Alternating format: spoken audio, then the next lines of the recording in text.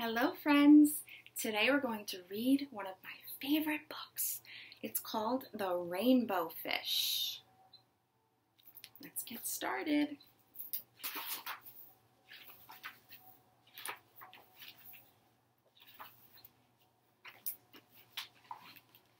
A long way out in the deep blue sea, there lived a fish. Not just an ordinary fish, but the most beautiful fish in the entire ocean. His scales were every shade of blue and green and purple, with sparkling silver scales among them. Ooh, look how pretty. The other fish were amazed at his beauty. They called him Rainbow Fish.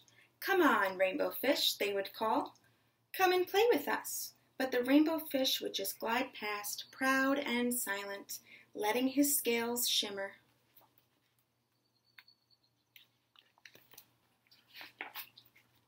One day, a little blue fish followed after him. Rainbow Fish, he called, wait for me. Please give me one of your shiny scales. They are so wonderful, and you have so many.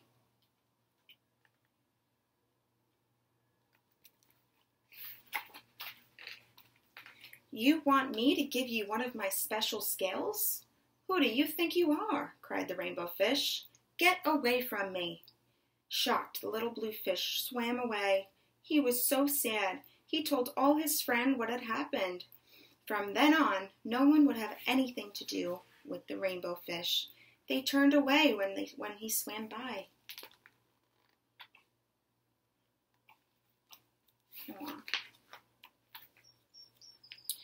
What good were the dazzling, shimmering scales with no one to admire them? Now he was the loneliest fish in the entire ocean. One day he poured out his troubles to the starfish. I really am beautiful. Why doesn't anybody like me?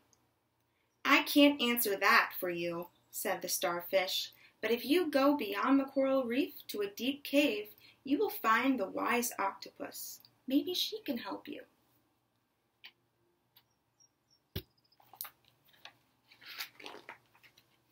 The rainbow fish found the cave.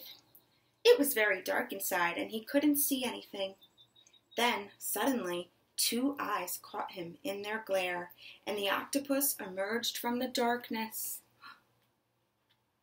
Look at the octopus.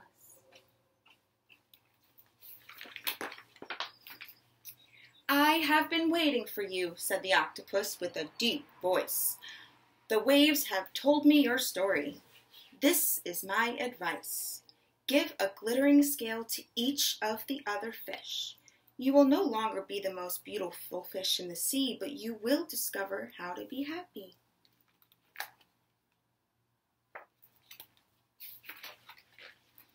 But I can't, the rainbow fish started to say, but the octopus had already disappeared into a dark cloud of ink. Give away my scales, my beautiful shining scales? Never, how could I ever be happy without them?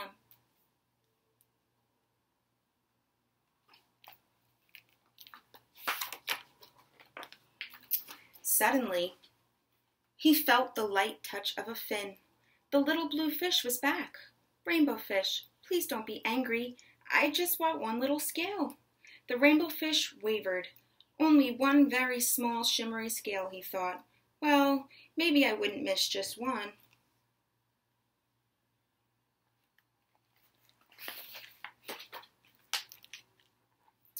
Carefully, the rainbow fish pulled out the smallest scale, and he gave it to the little fish. Thank you, thank you very much, the little blue fish bubbled playfully as he tucked the shiny scale in among his blue ones. A rather peculiar feeling came over the rainbow fish. For a long time he watched the little blue fish swim back and forth with his new scale glittering in the water. Look, he shared his scale. The little blue fish whizzed through the ocean with his scale flashing, so it didn't take long before the rainbow fish was surrounded by the other fish.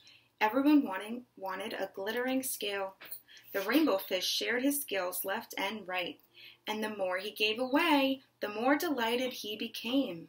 When the water around him filled with glittering scales, he at last felt at home among the other fish. Aw, look at all of the fish with the scales.